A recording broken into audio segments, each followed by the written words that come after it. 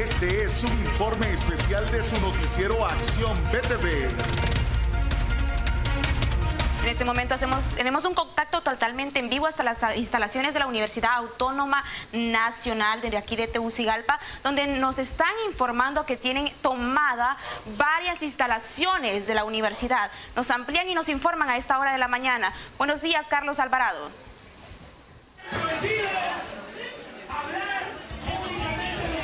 Así es que tal, muy buenos días compañeros de Acción BTV. Nuestra gente, en efecto, en este momento estoy en las instalaciones de la Universidad Nacional Autónoma de Honduras, donde en tempranas horas de la mañana han sido tomados varios edificios del alma mater. Los estudiantes han estado desarrollando varias exigencias.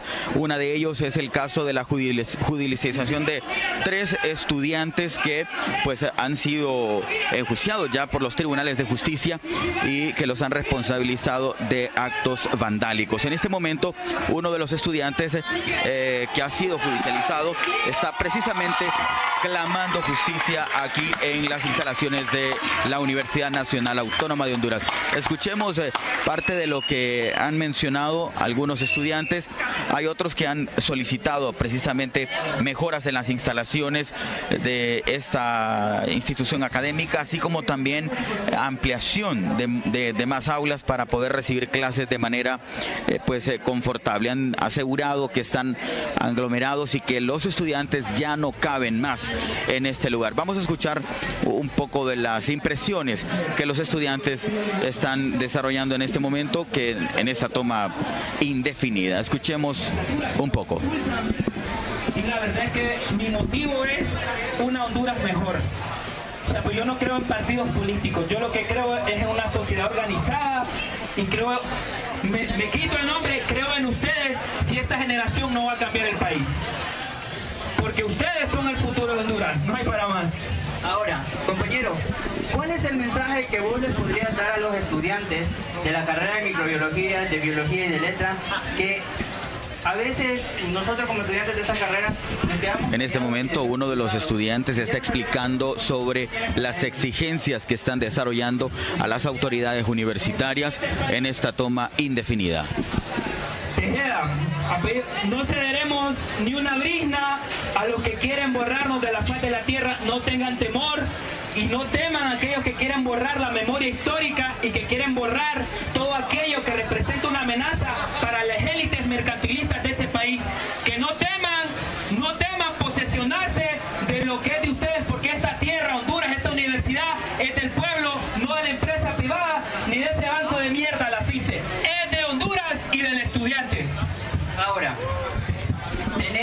estas son algunas de las impresiones. Este estudiante ha asegurado que mañana iniciará o precisamente continuará el eh, juicio en su contra y en contra de otros 18 estudiantes universitarios acusados por varios delitos durante las tomas que se han desarrollado durante varias semanas aquí en la Universidad Nacional. Han hecho algunas exigencias, más pupitres, mejor calidad de educación, mejores instalaciones, porque han criticado precisamente la construcción de un edificio administrativo sumamente caro, pero han discrepado mucho porque al momento de recibir clases hay algunos estudiantes que, según ellos, reciben las clases debajo de los árboles sin ninguna calidad de educación, tienen que pagar los laboratorios y una serie de gastos que deberían incurrir por la misma Universidad Nacional Autónoma de Honduras. Escuchemos un poco más. Por eso queremos luchar para que esa gente se integre, para que sea la educación del pueblo, educación popular del pueblo,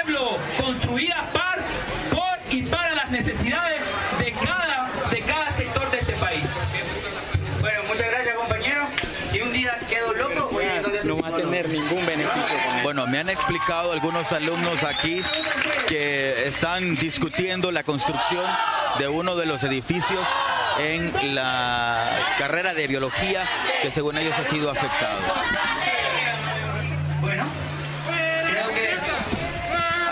vos sos uno de los eh, judicializados. Explícame en qué consiste esta lucha. Ya te hemos escuchado, pero continúa diciéndonos.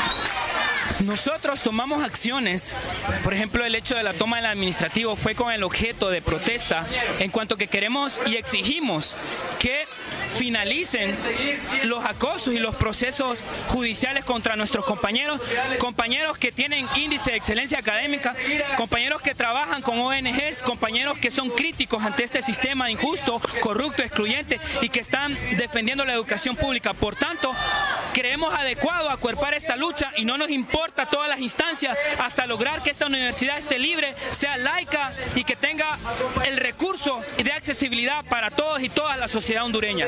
¿Qué instalaciones han sido tomadas ese día? Bueno, en este momento, hasta donde yo tengo entendido, este edificio, no, no sé si allá arriba han habido eh, actividades, porque también cada asociación es independiente en ese sentido, entonces cada quien va a actuar de una forma autónoma. Lo que sí estamos pidiendo a la sociedad hondureña, al estudiante consciente, a la comunidad es que acuerpen a nuestros compañeros el día de mañana. Nosotros estamos siendo citados a audiencias para, para descargos, para expulsarnos de la universidad. ¿Por qué?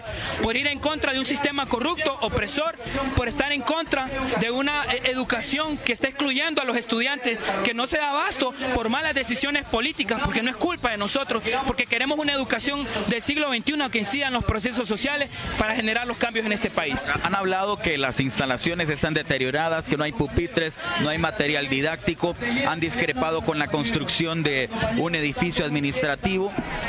O sea, usted va al edificio administrativo, se va a ver ahí madera importada, edificios muebles caros. Tenemos aquí estudiantes que reciben clases en el piso. Yo soy estudiante también de la carrera de letras. La carrera de letras solo tenemos una aula, una aula que está seccionada en cubículos y ahí reciben clases más de 200 estudiantes. Tenemos el caso de estudiantes que reciben clases en cubículos de maestros o que tienen que recibir clases afuera y entonces es injusto que allá estén gastando en net que valen más de 100 mil empiras para vigilar a los estudiantes, mecanismos de seguridad avanzada, cuando no tenemos pupitres, espacios, no existen las condiciones pedagógicas adecuadas y son elementos que la sociedad hondureña tiene que darse cuenta y e invito a la sociedad que venga y se dé cuenta por sí misma y no crea todos aquellos medios que están tergiversando y están manipulando la opinión pública. ¿Esta toma es indefinida? Estas, estas tomas van a ser graduales.